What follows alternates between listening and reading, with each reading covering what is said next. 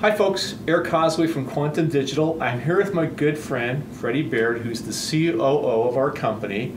Outstanding character, big football fan. Is it the Aggies you love? Uh, no. Oh, okay. No. Don't hit me over the head like that. Hook 'em horns all the way. Hook 'em horns all the way.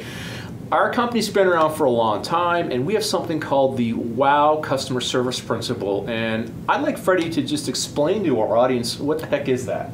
Well, I think the WOW principle is really based on, uh, and a lot of companies have, you know, satisfaction guarantees, those kinds of things.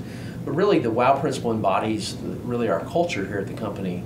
Steve Damon, our CEO, had a uh, background in the hospitality industry. You know, that industry is really about first impressions. And so, with WOW, what we're telling our customers is we want to create an exceptional experience with you so that you come back time and time again. And part of that is, you know, we have to consistently perform at a certain level. Right. And uh, when we do make mistakes, and we do, we make mistakes. He makes mistakes. I don't make mistakes. I've definitely made my share. then when we mess up, you know, we simply say to the customer, "What would you like us to do to make it right?"